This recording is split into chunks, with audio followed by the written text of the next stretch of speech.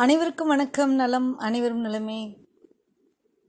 மரவள்ளிக்கிழங்கு மரவள்ளிக்கிழங்கு அப்பளம். இது வந்து கேரளா ஸ்பெஷலுங்க. மரவள்ளிக்கிழங்கு அப்பளம் கடையிலேயே கூட விற்கும். என்னோடய ஃப்ரெண்டுங்க ஒருத்தவங்க இருக்காங்க. அவங்க வந்து கேரளா சைடு அவங்க போட்டாங்க. ஸோ அதனால் நான் நமக்காக அவங்கக்கிட்ட இந்த வீடியோ எடுத்து போட்டிருக்கேன். ஸோ வாங்க இது எப்படி செய்யலான்னு பார்க்கலாம். மரவள்ளிக்கிழங்கு நல்லா வாங்கிட்டு நல்லா வாஷ் பண்ணிவிட்டு தோல் எப்பொழுதும் போல் அதோட தோல் அந்த பட்டையாக இருக்கும்ல அந்த அளவுக்கு அந்த முழு தோலையுமே எடுத்துடுங்க. எடுத்துட்டு அது உள்ள நரம்பு இருந்தாலும் அந்த நரம்பையும் எடுத்துடுங்க. எடுத்துட்டு ஸ்லைஸ் ஸ்லைஸாக போட்டுக்கலாம் இல்லை துருவிக்கலாம் பொடியாக கட் பண்ணிக்கலாம் நம்ம விருப்பம். எப்படி வேணாலும் நம்ம பண்ணிக்கலாம். அதை வந்து துருவி எடுத்துட்டு இதை வந்து என்ன பண்ணணும்னா நல்லா மிக்சியில் போட்டு கொஞ்சம் தண்ணி விட்டு வழுவழுனே அரைச்சிக்கலாம். அதாவது பெருசாலாம் இருக்கக்கூடாது. ஒன்று ரெண்டு சின்னதாக திப்பியாக இருந்தால் பரவாயில்ல. அரைச்சி ஒரு தோசை மாவு மாதிரி அரைச்சி எடுத்துக்கணுங்க. தோசை மாவு மாதிரி அரைச்சி எடுத்துக்கணும். ஆக்சுவலாக இதுக்கு வந்து நம்ம கேரட் துருவி மாதிரி துருவி வச்சு முடிஞ்சால் துருவிடலாம். துருவிட்டால் அரைக்கிறதுக்கு வந்து ரொம்ப ஈஸியாக இருக்கும். அரைச்சிட்டு ஒரு பங்கு அந்த கிழங்கு அரைச்சி எடுத்துருக்கோன்னா அதுக்கு ஈக்குவலாக இன்னொரு பங்கு தண்ணி. அல்ல ஒன்றே கால் பங்கு தண்ணி. அந்த அளவுக்கு தண்ணியாக வச்சுட்டு நம்ம கூழ் கிண்டுற மாதிரி நல்லா கெட்டியாக கிண்டணுங்க. ஊற்றுற பதம் எப்படி இருக்கணும்னா இட்லி மாவு பதம் வர மாதிரி நம்ம வந்து கிண்டிக்கணும். அதுக்கு தகுந்த மாதிரி நம்மளே தண்ணி வந்து அளந்து வச்சுக்கலாங்க. அதாவது அந்த கிழங்க துருவி ஒரு பாத்திரத்தில் நம்ம அளக்குறோன்னு வச்சுக்கோங்களேன். அந்த பாத்திரத்தோட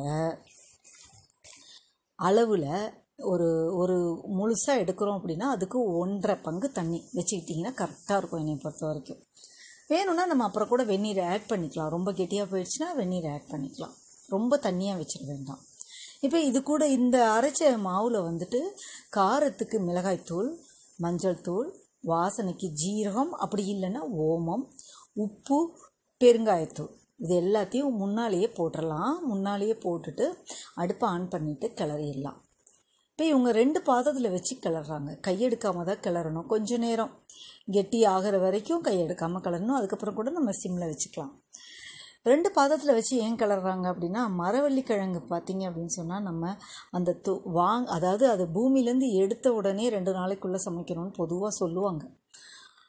இல்லைனா அது அதோட தன்மை வந்து மாறிடுமா? சமயத்தில் அது வந்து பாய்சன் ஃபுட் பாய்சன் ஆகிறதுக்கு கூட வாய்ப்பு இருக்குது அதனால் மரவள்ளிக்கிழங்கை பொறுத்த வரைக்கும் நம்ம தோலை உரித்து கழுவி சீவிட்டோம் அப்படின்னா உடனடியாக அதை சமைச்சிடணும். உடனடியாக சமைச்சு சாப்பிடணும். வெந்துருச்சுனாலும் நம்ம மறுநாளைக்கெல்லாம் அதை வைக்கக்கூடாது. ஸோ அது அந்த தன்மை மரவள்ளிக்கிழங்குக்கு இருக்கிறதுனால நம்ம இவங்க என்ன பண்ணியிருக்காங்க பாருங்கள் ரெண்டு அடுப்புலையுமே வச்சுட்டாங்க. அதனால் நீங்கள் உங்களால் ரெண்டு அடுப்பும் கிளற முடியாதுன்னா ஒன்று ஒன்றா செஞ்சுக்கோங்க. எவ்வளோ கொஞ்சம் கொஞ்சமாக போட்டு நம்ம செஞ்சுக்கலாம். ஏன்னா ரெண்டும் அடிபிடிக்காமல் கிளறணும் இல்லையா? ப்ராக்டிஸ் இருந்ததுன்னா நம்ம செஞ்சிடலாம் ரெண்டையுமா. ஸோ எவ்வளோ முடியுமோ அவ்வளோ மட்டும் அன்றைக்கி செய்யுங்க மீதி மறுநாள் நம்ம வந்து செஞ்சுக்கலாம். ஓகேங்களா? ஸோ இந்த மாதிரி நல்லா கலரிக்கணும். கரெக்டாக இட்லி மாவு பதம். இட்லி மாவு எப்படி ஊற்றுவோம் தோசை மாவு மாதிரி இல்லாமல் இட்லி மாவு எடுத்து வைக்கிற மாதிரி இருக்குல்ல? அந்த பதம் வர மாதிரி கலரிக்கணும்.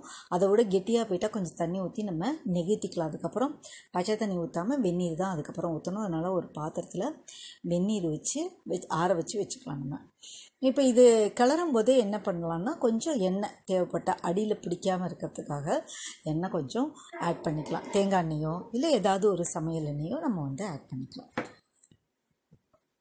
இந்த மரவள்ளி கிழங்கு அப்பளம் பார்த்திங்கன்னா கடையில் இருக்குது நல்ல மெலிஸ் மெலிஸாக இருக்கும்.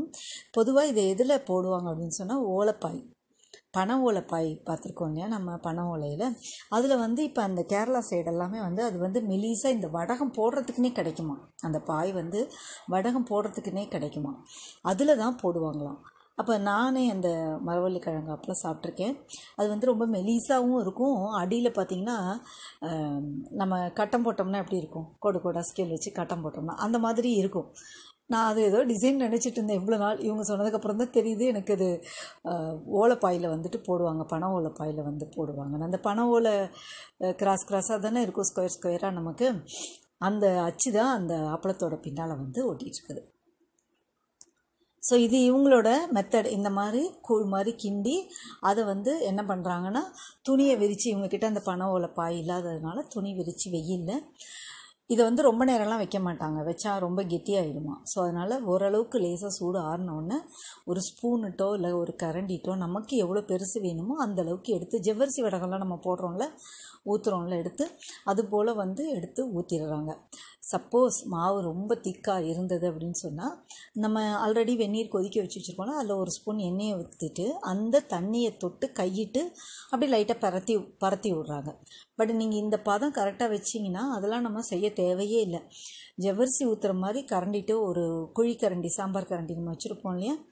ஒரு ஐம்பது எம்எல் பிடிக்கிற மாதிரி ஒரு கரண்டி. அதுட்டு எடுத்து கட கட கடன்னு நம்ம ஊற்றிடலாம் ஸோ அதுவே வந்து ஸ்ப்ரெட் ஆகிக்கும் துணியில் போடுறதுனால. ஏன்னா துணியை ஈரத்தில் நினச்சிட்டு தான் விரித்து நம்ம போடுவோம். அப்போ அதுவே வந்து ஸ்ப்ரெட் ஆகிக்கும் அப்படியே விட்டுறலாம். காய விட்டுட்டு நல்லா சாயந்தரமோ இல்லை மறுநாளோ பின்பக்கம் நல்லா தண்ணியை துணியில் தெளித்து கொஞ்சம் பொறுமையாக நம்ம வந்து பிரித்து எடுக்க வேண்டியது வரும் இதில். இல்லைன்னா அது உடஞ்சிடும் ஸோ காயத்துக்கு எப்படி மூணு நாள் இல்லை நாலு நாள் கூட உங்களுக்கு ஆகும். நம்ம போடுற திக்னஸை பொறுத்து. காய வச்சு டப்பாவில் போட்டு எடுத்துட்டோம் அப்படின்னு சொன்ன வச்சுட்டோம் அப்படின்னு சொன்னால் எப்போ தேவைப்படுதோ அப்போ வந்து குழந்தைங்களுக்கு நம்ம பொறிச்சு கொடுத்துடலாம்.